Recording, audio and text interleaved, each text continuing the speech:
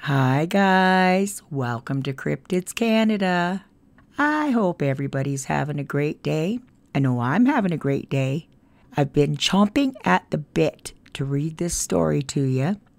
Uh, just a little bit of back backstory to it. Um, this gal sent us the story, which is in episode 97.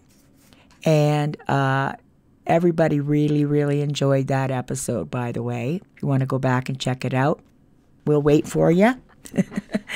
Anyways, uh, she ended up sending us another story and I was uh, just about ready to put it up for you guys when she sent me an email saying to hold off because she had also sent it to our dear friend over at uh, Dixie Cryptid and he had just read it. So he beat us to the punch.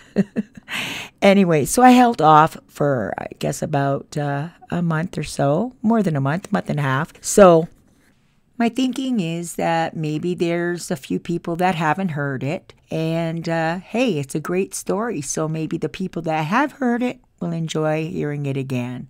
Okay, guys. So how about we sit back, put your feet up, close your eyes, and get ready for a super amazing story. Okay, it just starts out Hi, Leslie. I had to really kick this over in my head before sending this to you because I've already sent an encounter to you recently. I feel like having multiple cryptid encounters is somehow viewed as less than credible by listeners. Nonetheless, I've really enjoyed your channel and I'm willing to put myself out there if it increases our chances of learning more about these beings. Every little bit helps, right? Thank you for taking the time to read this, as I know it's lengthy. I am a 52 year old mother of three, now grown boys, and my encounter happened almost 20 years ago, but it's as clear in my mind as, it as if it happened yesterday, and I'm sure it always will be. I've lived my life doing things off grid, and usually as far out in the wilderness as I can go. I've climbed to the summit of mountains stayed at the 12,000 foot in a tent by myself for a month in the Sierra Nevadas, and I've slept in the snow just for fun. I'm that woman who usually can't find any friends to go with me camping because no one wants to go in the winter or rough it, as far as I go. You would think I'd have an encounter in one of these remote places on one of my excursions, but I didn't. I came across this being right smack dab in the middle of the day, right off the crowded beach full of swimmers in northeastern Washington. My encounter was up close for a few minutes, but lasted at a distance most of the day. I went kayaking with my boys and my sister in law and her kids at the large wilderness lake in the far northeast corner of Washington by the Canadian border. We stopped at the crowded beach at midday so we could eat our lunch and stretch our legs. Both my sister in law and I immediately felt extremely uneasy there, and we decided not to stay long. She and I joked about there being a serial killer in the area and tried to make light of the unease we felt. But at the same time, we made a point to tell the kids to go in pairs if anyone need to use the outhouse. She and I also went together, and I remember feeling like I was going to be pounced on at any given moment. While I guarded the outhouse door for her, it had taken us hours to get there, and we were pushing our luck to make it back before dusk. So after the kids had eaten and played in the water a while, she loaded them up in their boats, and they all left together. I lagged behind so I could eat my lunch and sneak a much needed cigarette once my kids were far enough away to not know what I was doing. I didn't intend on being there long, so I just pushed off the shore in my boat and sat a while as I ate and had the cigarette. I noticed the beach had emptied of many families who were swimming, and I was completely alone. I remember thinking how odd it was that everyone had just uprooted and left at once. I started feeling scared, so I paddled out a few yards from the beach with the thought in mind that I had more than enough time to get away if a murderer tried to swim out to get me. Funny the stupid stuff that goes through your mind during times like this.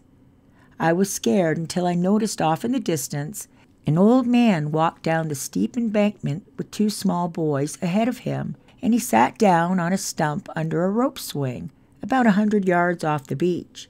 He was watching the two while they were doing what little boys do tossing stones in the water and playing at the water's edge. They had their backs to him and didn't seem to be paying much attention to him while they played. I decided to sit in my boat offshore about 25 yards to finish my lunch and watch them. I felt safe there for a little while, but the feeling of being watched from some other direction quickly returned and was becoming overwhelming. As I sat there in my boat, I began to let my imagination get the best of me. I began to imagine that there was something dangerous in the water, and I started to think back on stories that my dad had told me of divers seeing sturgeon big enough to swallow a barrel. They may be docile, but the thought of even seeing a fish that big was terrifying, and since I had given my life vest to one of the kids, I'm a lousy swimmer. I decided to paddle over to the shore and stay within reach of it while I made my way back around the lake. I kayaked over to the shore and headed in the direction of my family, who were now about a quarter of a mile ahead of me in the big water. I had to pass right by the old man along the way. He was sitting on the shore on what looked like a stump, with his left leg crossed over his right. His hands were clasped over his upper knee, and he was staring at me, slowly circling his foot in midair. As I got closer and closer to him, two little boys had vanished into the trees, and he was still sitting there watching me. I no longer felt uneasy. In fact, I felt safe knowing he had his eyes on me so intently. I thought that if there was something dangerous in the water and I accidentally rolled my boat, he would at least see it and maybe rescue me. He never took his eyes off me, so I waved at him to be polite but he didn't wave back. I thought, he must not have seen me wave at him. I have to tell your listeners that I assumed he was old because he was wearing a turtleneck sweater and long pants. It was in the middle of August and such a hot day that I figured he must be elderly. As my dad was elderly and had bad circulation, so he always wore clothes that seemed way too warm for the summer. I waved at the elderly man again, but he still didn't wave back. Then I knew he had seen me and he was just being rude. Oh well, I still smiled at him, and since I was only a few yards away and cruising slowly closer, I still wanted to be friendly to this gentleman and let him know I wasn't a threat. I don't remember if I just smiled at him or if I actually said hello as I got closer. I may have, but to be honest with you, I don't remember because I was shocked by what I saw next. On a side note, I don't tell a lot of people the details of this encounter because the ridicule is unrelenting. Had I been terrified by some hideous monster and barely made it out alive, I think people would have accepted my testimony more than they do. That's not what happened, though. Since none of us are experts, I fail to see how we can't all learn from the diversity of these beings. By listening to each other instead of shunning the ones that don't fit the narrative. That's why I'm about to swallow my pride and share with you what I saw. As much as I have to brace myself for the jokes and innuendos, I'm willing to put myself out there just to see if anyone else has come in contact with a being such as this. So here goes. As I approached him, I saw that he was not elderly at all, like I had thought. He was probably only in his mid forties. His hair was slightly salt and pepper, and his beard had some gray streaks. He was extremely handsome, movie star quality, man with perfect features. I know I was staring at him with my jaw dropped because people that attractive don't show up very often especially in these parts. He seemed to have a gleam in his eye that suggested he was enjoying my attention of seeing him. One corner of his lips curled up slightly in a subtle smile. He had a strong jaw, a perfect narrow nose, high cheekbones, and eyes were almost almond shaped, but not slanted, and were a very pretty light brown color that was almost golden.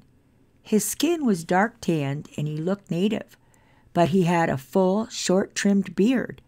His lips were full, but not leathery or disproportionate. He was absolutely gorgeous.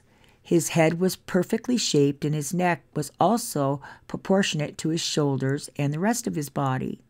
He wasn't glaring at me, he was squinting from the sun. Even though his eyes were narrowed, I could still tell he had large, very thick lashed eyes. They weren't overly big or bulging. He had a bit of a prominent brow ridge, but nothing out of the ordinary. If you ever seen the actor Jason Momoa, you'll see he has a pronounced brow ridge that I would compare to this. Yes, I'm going to say it, man. As I passed him, literally about seven feet away, I realized I was staring at him. How rude of me so I averted my eyes. It was then, in the split second I looked away, I noticed that he was not wearing a turtleneck, but was completely covered in thick, silver tipped brown hair. Immediately I looked back over at him. He was not wearing any clothes at all, but was completely covered in short, glossy, clean looking hair. I was close enough that I could tell what direction it grew in. Had he not been covered in hair, I would have thought I had a chance meeting with a movie star or a Hollywood model. He was absolutely stunningly masculine and a literal example of a perfect human male. As my kayak slowly cruised in front of him, I know it was my turn to stare blatantly. His shoulders were very broad and his chest muscles and biceps were well defined but not freakish like those goofy bodybuilders who get on steroids. He was strong looking, but not abnormally for his size. I realized I was rude for staring at him, so I looked ahead of my boat for a moment, but then my curiosity got the best of me and I looked back over my shoulder at him. By then, he had stood up and was standing sideways to me, facing up the hill, and he had reached over his head to swipe a branch out of his face. He had to have been at least eight feet tall, and he was so muscular I could see his muscles rippling beneath his hair on his bicep and thighs. He was surreal. I wasn't afraid. I was just stunned, and my only thought was, kind of skin disorder is that? Why was a nudist living clear out here in the middle of the wilderness? By the way, I didn't see any genitalia, I wasn't looking for that because I was already embarrassed by staring at him once I realized he was naked. Anyway, a little while later, I glanced back over my shoulder again, and he had completely disappeared into the trees. By the time I caught up with my family, my sister in law brought to my attention there was a hunter walking up the top of the mountain in a huge open clearing alongside of me. I was in the water and he was about half a mile away, as the crow flies, above me on the steep mountain. He kept up with my boat and walked looking down at the mountain towards me every few seconds. For the rest of the day, he was far enough away, his body hair looked like clothing again, even from that far away. None of the others noticed anything abnormal about him except that they noticed he kept looking down at me as he walked. I can't imagine how fast he had to be traveling to make it to the top of that steep mountain in enough time to get to the grassy summit at the same time I passed in my boat. He was there, though, and we watched him keeping up with me effortlessly. I lost sight of him when the high mountain meadow dropped back into the trees on the other side of the peak. By the time I was loading up the boats in my truck, it was almost dark and we were exhausted. I kept catching myself stopping and looking up at the darkness of the tree line at the edge of the lake because I could not shake the feeling of being watched. Even though I didn't see him, I knew he was there in the trees, still staring at me. I didn't tell the others that day what I saw because they would have laughed. My kids know now what happened, but at the time I didn't say anything, and they do believe me because they have had their own sightings at other places. I couldn't get my encounter out of my mind. I never once thought he was a Sasquatch. I honestly thought he was an attractive man with some kind of skin disorder that caused excessive hair, body hair. You see, I didn't believe in Bigfoot. I thought it was a myth, told by the elders to keep the kids from straying too far from camp. I thought I must have come across someone who had the same skin disorder as the wolf boy from the old Barnum and Bailey circus during the turn of the century. I was curious as I had never seen it in real life before, so I set out to research it. As it turned out, I was pursuing the internet, searching for information, when I came across a website that seemed to be an information site. It was a forum for anomalies, and you told them your stories. Maybe they could help you solve your mystery. I posted what I had seen and didn't think anything of it until I got a call just a short while later. This was back when the caller ID boxes that would show you who was calling on your landline. I got this call within an hour of posting it. The caller ID said U.S. government. I picked it up, not knowing what was going on, and thinking something bad must have happened to a relative. The person who answered told me he was a so and so from the Department of I can't remember, and he would like to talk to me about the Sasquatch I had seen and written about. I honestly had to ask him who he was again, because the name Sasquatch completely took me off guard. He repeated it, and I instantly realized that I didn't want to talk to him. I panicked and I hung up on him. He tried calling back several times, but I wouldn't pick up. Did I really hear him say Sasquatch? My curiosity got the best of me, and I began to research Bigfoot and came across the newly organized BFRO. I eventually got up the nerve and told my story. I received a lot of ridicule from even my sister in law, who claimed all I had seen was a hunter and to quit being a ninny, of course. So I was hell bent on finding anyone I could talk to who would believe me. At that time, the BFRO seemed to be the most trustworthy source. So I told them my story, and I wasn't long before I was asked to be interviewed on several Bigfoot radio stations and speak at several conferences. In fact, I was supposed to speak at another conference this coming weekend, but it was canceled due to COVID 19. I would just like to say this. The man I saw was just that. He was a man. He was not an ape. He was intelligent, and even though he hadn't spoken to me, I could tell he had a personality and a soul. And I will admit with all my heart that when I looked into his eyes, I felt like I was looking at someone who was superior to me in intelligence, kind of like a college professor when you're just starting high school.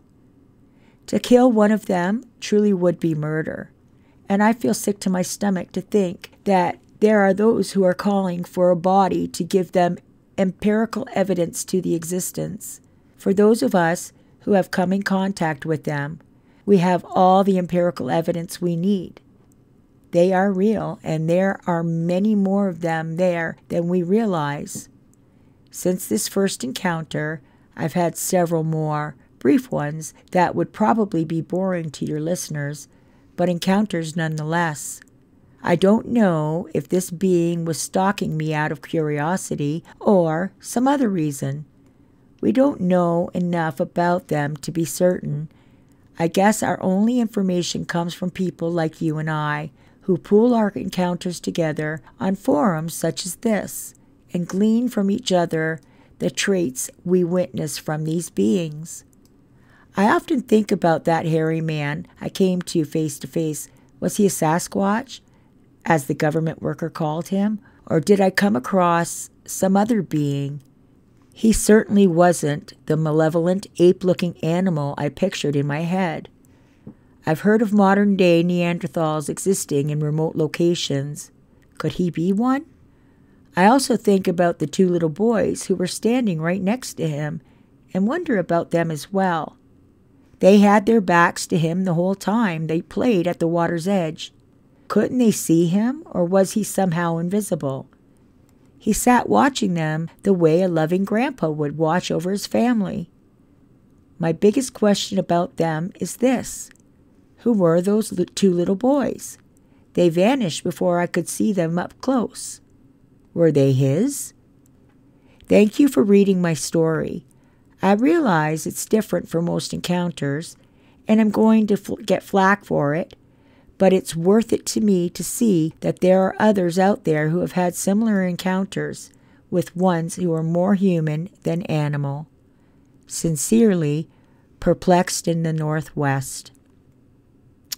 Wow. You know, I've read that story probably about five times now. Um, and I just enjoy it more and more every time.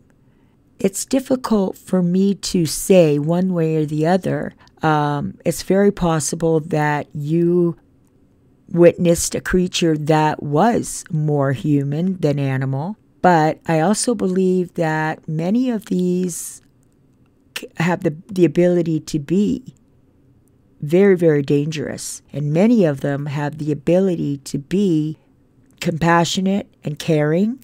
So I can't tell you one way or the other, but that's my opinion. I think there's a vast array of them, just like there are human beings. So I guess that's uh, where I'm going to leave that.